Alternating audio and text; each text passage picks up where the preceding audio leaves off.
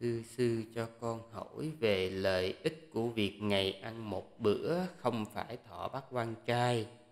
Con thấy có một số Phật tử tại gia vẫn đi làm như bình thường và ăn ngày một bữa, ăn ngày một bữa như vậy thì có lợi ích như thế nào cho việc tu tập?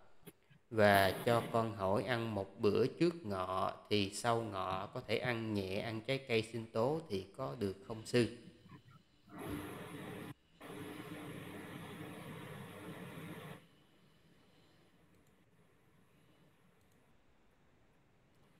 À, thì um, nếu mà quý vị hỏi về cái lợi ích của việc ăn uh, ngày một bữa thì sư dựa theo thanh tịnh đạo nói về 13 hạnh đầu đà thì có cái hạnh là ngày ăn một lần một lần ngồi ăn à, cũng như là cái hạnh uh, chỉ ăn trong bát đó. thì um, đó là như thế này thứ nhất á, là cái lợi ích là cái lòng tham dục về thực phẩm á, nó được giảm thiểu tức là mình à, giảm thiểu cái chuyện là mình mong muốn ăn ngon mong muốn thỏa mãn cái vị giác của mình ha. Rồi những cái mong cầu thái quá mong cầu những cái thứ phụ trội á, nó cũng được giảm thiểu. Rồi à, mình thấy rõ được cái mục đích của cái chuyện ăn uống là nó chỉ đủ để nó nuôi thân thôi chứ không phải mình ăn uống chi để cho nó béo bổ gì cái cơ thể này và mình biết cái lượng thức ăn như thế nào là vừa đủ rồi một cái sự lợi ích nữa đó chính là mình không có phải bận tâm về cái chuyện nấu nướng ừ. thì mình sẽ có nhiều thời gian hơn vào việc khác rồi mình sẽ ít bị bội thực à.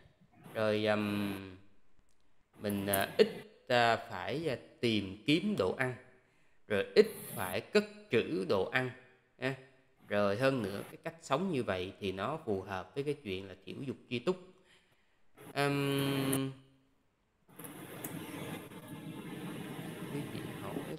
có lợi gì cho việc tu tập hay không thì đó là những cái mà sư nói.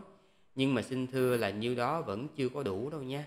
Bởi vì à, mình còn có à, cần phải giữ giới nữa chưa thấy nhiều người họ thích hành những cái phương pháp khổ hạnh.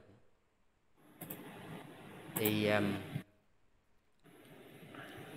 đó là cái quyết định cá nhân thôi. Nhưng mà sư nói, cái khó làm nhất đối với cư sĩ là cái chuyện giữ giới quý vị muốn làm cái gì làm cái gì làm ơn giữ giới giùm sư. Quý vị giữ giới được thì quý vị nói cái chuyện quý vị ăn ngày một bữa thì sư ủng hộ.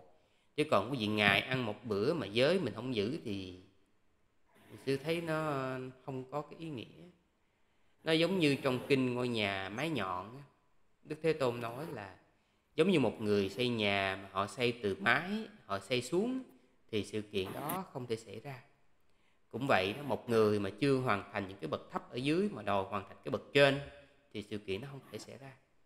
Trong thanh tịnh đạo, cái người cư sĩ đầu tiên là họ phải giữ năm giới trong sạch nha. Giữ năm giới trong sạch rồi mình mới tính đến những cái chuyện sâu xa hơn là những cái pháp ờ, khổ hạnh như là ngày ăn một bữa. Chứ còn năm giới mình không giữ mà mình làm cái kia thì nó vô ích lắm nha, nó không có thành tựu luôn á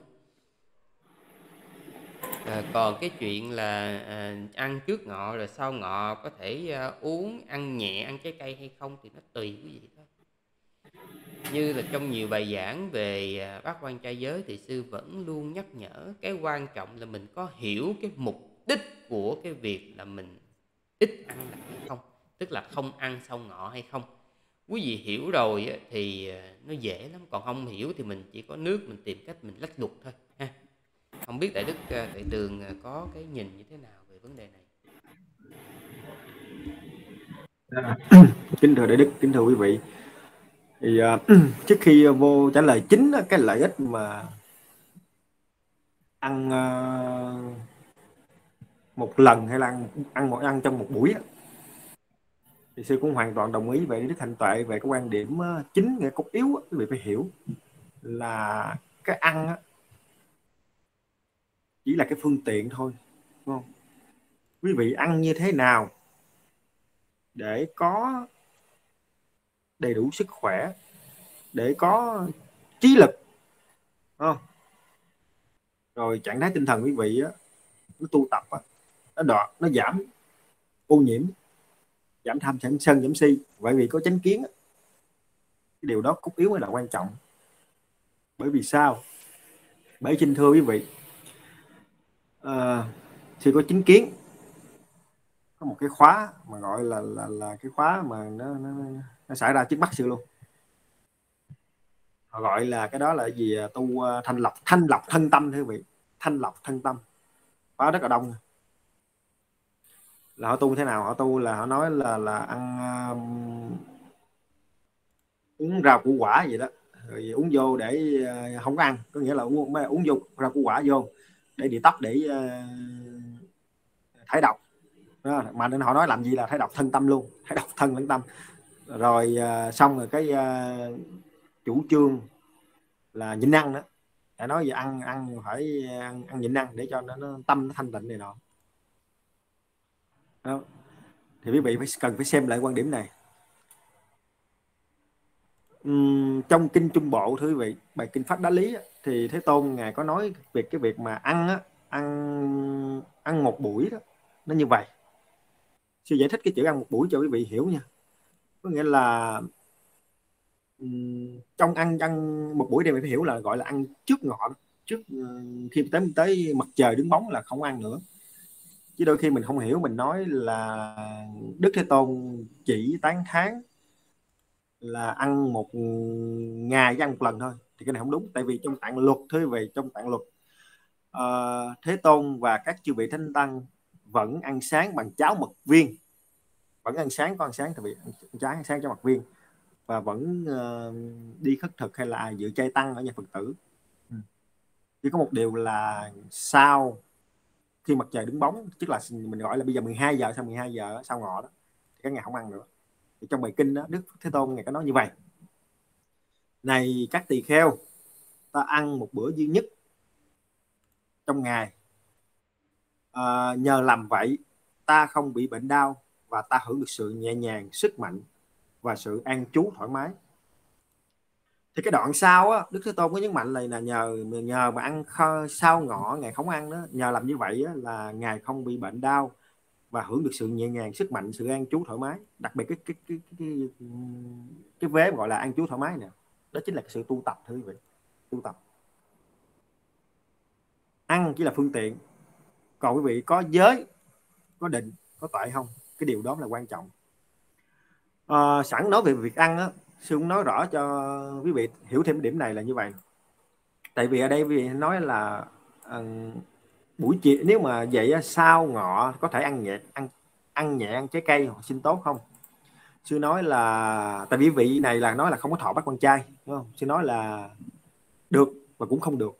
Được là như thế nào? Nếu quý vị á, à, buổi chiều quý vị vẫn dùng nhẹ với cái đó đó nhưng mà để quý vị á, dùng để để là phương tiện để tu tập cái điều đó tốt không? Vì hướng đến sự ly tham. Còn nếu quý vị à, làm thực hành như vậy bị vị hướng đến làm như vậy để cho nó nó nó, nó, nó uh, thân mình nó tốt tâm mình nó tốt mấy vị không tu tập như đức hành tại có nói. Thì uh, suy nghĩ là vì không nên. Ngay cả có một sự việc như vậy ngay cả khi một người mà giữ bắt quan chơi giới thưa quý vị thường thường ờ, ở bên miếng họ có cái gọi là cái uh, sát tố ma đù quý vị có nghĩa là kết hợp năm loại là bơ lỏng bơ đặc dầu ăn mật ong và mật mía thì cái đó là thực phẩm mà được dùng xem như dược phẩm dùng buổi chiều. Ừ, thì quý vị nghĩ trường hợp như vậy này quý vị tự tự mình cho mình câu trả lời đi. Thí dụ một vị đó nói là giữ bát quan chớ thiểu dục để thiểu dục chi túc để tu tập. À quý vị nó nói là à, nhưng mà chiều được dùng cái này.